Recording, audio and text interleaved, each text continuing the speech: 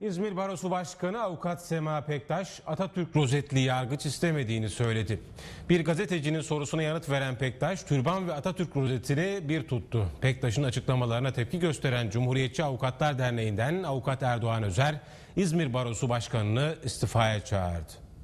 şu anda Atatürk ve Türk bayrağı rozetinden rahatsız olunması, yasaklanmasının önerilmesi kadar talihsiz bir açıklama yoktur. Ee, kınıyorum ve e, tepki gösteriyorum. Dediğim gibi İzmir Barosu Başkanı bence derhal istifa etmelidir ve İzmirlilerden, avukatlardan özür dilemelidir. İzmir Barosu Başkanı Avukat Sema Pektaş yaptığı bir açıklamada türbanla Atatürk rozetini bir tuttu. tüm kamuoyuna duyuruyoruz. Ne Atatürk rozetli ne Türk bayrağı ne de türban dedi. Denen baromuzu Pektaş ulusal kanalın görüşme talebini konunun daha fazla gündeme getirilmemesi için geri çevirdi.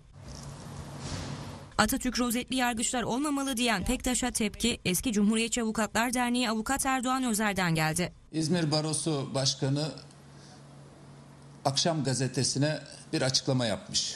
Yaptığı açıklamada Danıştay'ın türbana izin veren kararına eee, karşı çıkan eee, türbanın eee, duruşmalarda kullanılmaması gerektiğine değinirken Atatürk ve Türk bayrağı rozetlerinin de eee, takılmaması gerektiğine ilişkin bir beyanda bulunmuş.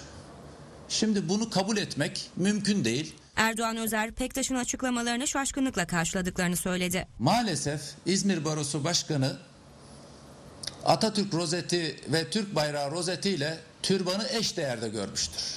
Ve türban yasaklanıyorsa Atatürk ve Türk bayrağı rozeti de yasaklanmalı diye bir açıklama yapmış.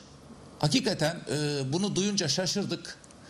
Keşke bunu İzmir Barosu Genel Kurulu öncesinde söyleseydi ki e, İzmir Barosu'na üye avukatlar bu konuda tepkilerini göstersinler.